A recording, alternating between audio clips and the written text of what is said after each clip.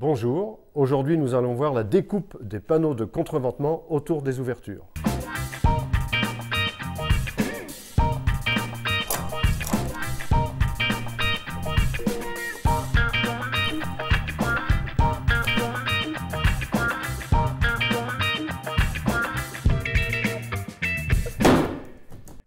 Donc maintenant le, mur est prêt, on a terminé la partie euh, structure.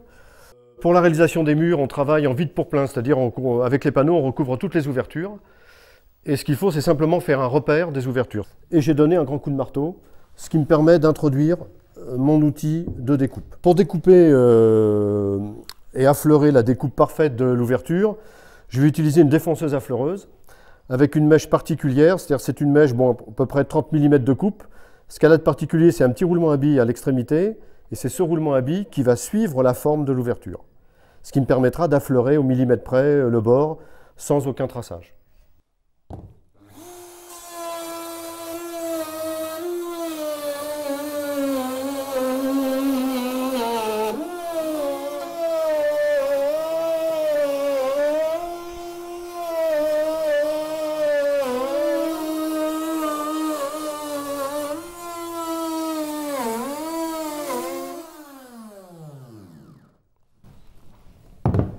Alors on va découper avec un autre outil, beaucoup plus pratique, puisqu'il va utiliser l'air comprimé de l'agrafage et du clouage.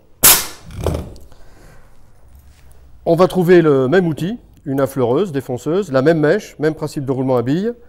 Seulement, euh, je n'ai pas à changer euh, d'énergie, je vais utiliser l'air comprimé pour pouvoir faire le travail.